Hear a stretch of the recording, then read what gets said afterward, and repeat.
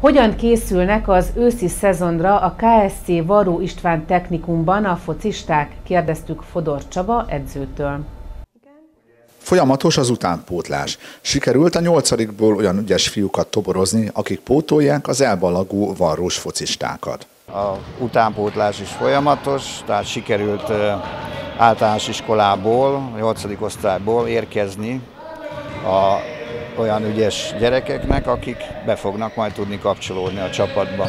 A léc magasan van előttük, hiszen több első helyet, kupát hoztak el a varrósok az előző szezonban. Mindenképpen magasra van téve a léc valóban ezeknek a gyerekeknek, és egyre népszerűbb a kispályás labdarúgó játék, egyre több csapat kapcsolódik be ezekbe a különböző szintű versenyekbe, de reméljük, hogy hely tudunk állni, és ebben a tanévben dobogóra is sikerül majd állni a gyerekekkel.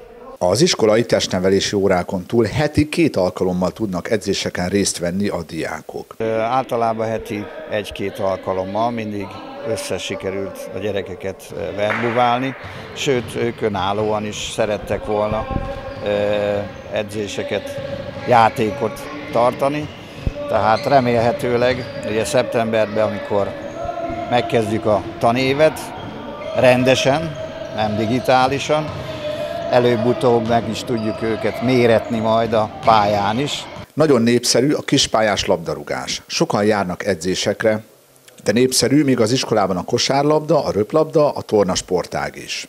A délelőtti kötelező testnevelés mellett délután a különböző sportágakban a gyerekeket foglalkoztatjuk, így labdarúgás sportákban is az iskolánkban, ugye heti két alkalommal tudnak edzeni és készülni.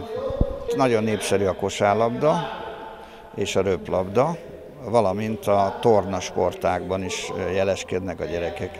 A szakember bízik abban, hogy az idei tanévben is több dobogós helyet hoznak el különböző sportágak bajnokságairól a varrósok.